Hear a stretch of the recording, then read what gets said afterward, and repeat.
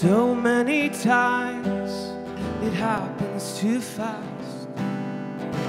You trade your passion for glory. Don't lose your grip on the dreams of the past. You must fight just to keep them alive. It's the eye of the tiger.